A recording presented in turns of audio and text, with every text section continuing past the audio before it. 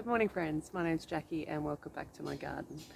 Um, so today I'm uh, harvesting ginger out of a pot um, that we had. We basically took some, um, I bought some uh, organic ginger off Facebook Marketplace um, and I bought like two kilos of it. Um, so a heap of it went in the freezer, we used a heap of it, um, you know, we made ginger powder, all sorts of stuff. Um, and then we planted some of it. So we basically, in each of these pots, they're 30 centimetre pots, uh, we put uh, five pieces like this. Um, and this is going to be our harvest. So we've already harvested one of these pots and I was amazed at how much ginger we had. Uh, hopefully there'll be as much in this one. Uh, so I'm standing at my compost because a lot of the stuff will just go straight into my compost. Um, and it just makes it easier. So let's see how we go.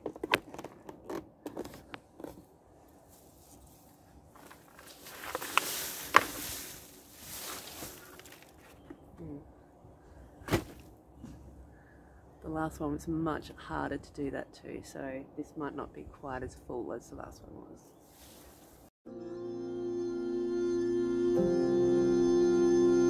Hey,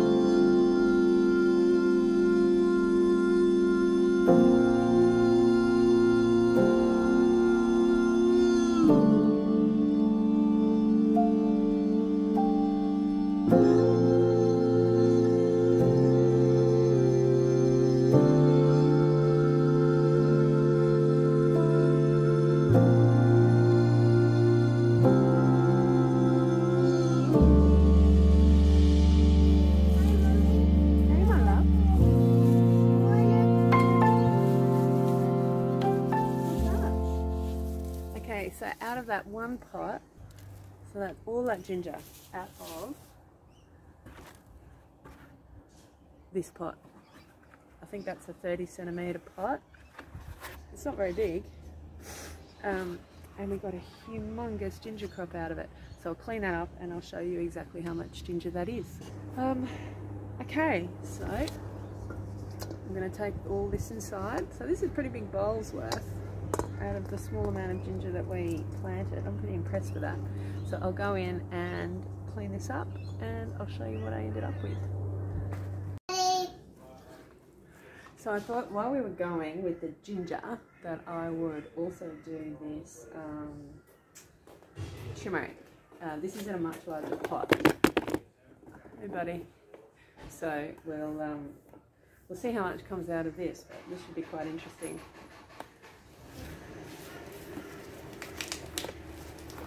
Oh wow.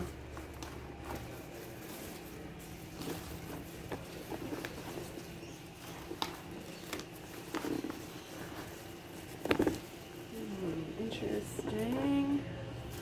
We're gonna need the wheelbarrow.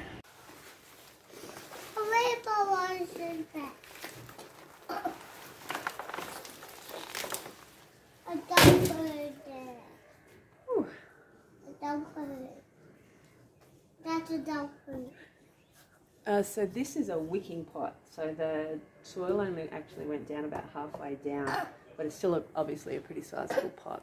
A bird. A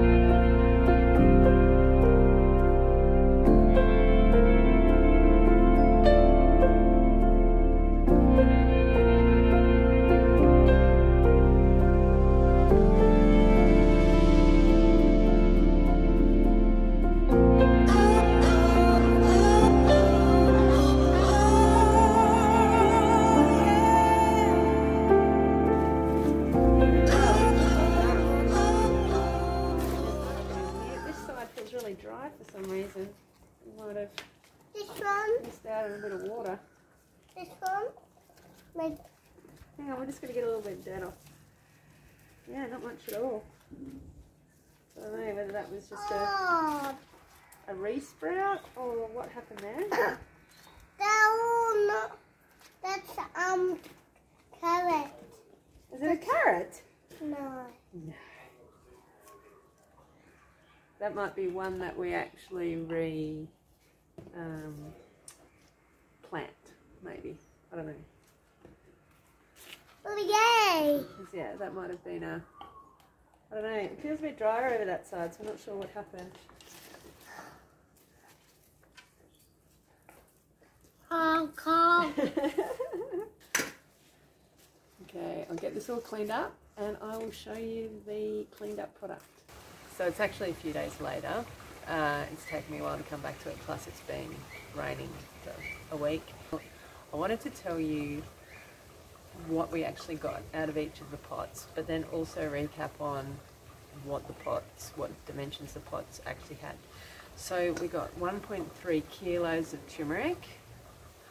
Um, now we use turmeric quite a lot in sort of curries and um, all sorts of things, fermentation, all that kind of good stuff. Um, so, and you can just pop it in the freezer and that's fine.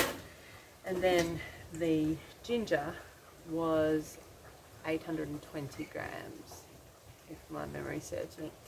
So now this was a this was actually a much smaller harvest than the other pot. We had two pots, identical sized pots, and the other one was absolutely chockers with uh, ginger, and like it was actually hard to get all the ginger out of it just because um, it was just so tightly packed in there. So I reckon we probably would have got over a kilo's worth of ginger out of the other pot that was exactly the same size. So the ginger came out of this pot. So it is 29 centimetres across and 26-ish centimetres deep.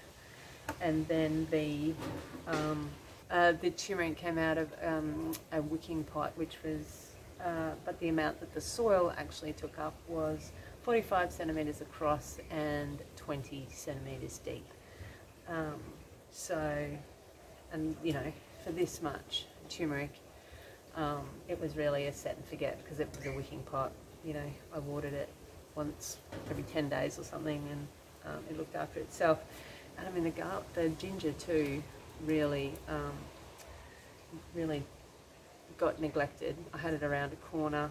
Um, as I said, I think the pot that this came out of uh, was probably in the shade slightly too much, which is why we've ended up with a smaller harvest out of it. Um, but yeah, both really, really uh, easy crops to grow if you are so inclined. So thank you very much for watching this video. If you um, have any comments, please put them down below and we'll see you in the next video. Bye now.